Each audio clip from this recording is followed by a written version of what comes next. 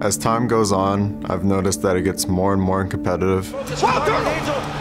Last year at PAX, every single one of those matches were extremely close. Last season, I definitely thought we were a top team. We're not all there. All that really matters for CLG this year is just results. I think a lot of people were happy and content that we, we got to the quarterfinals and we took a game off white. And we feel like that wasn't good enough.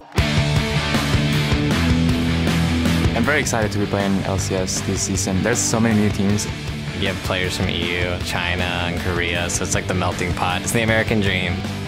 We get to see more teams play, more variety of champions. If we come out strong, then that will surprise the other teams and force them to rethink how they stand against us. All these teams, they're like, we're gonna roster change, we're gonna be really, really good, we're gonna get hyped again, and then we're gonna get smashed by TSM this year.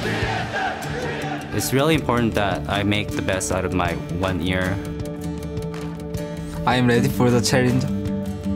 I'm hoping to make some plays. The dream is alive. Let's go, baby.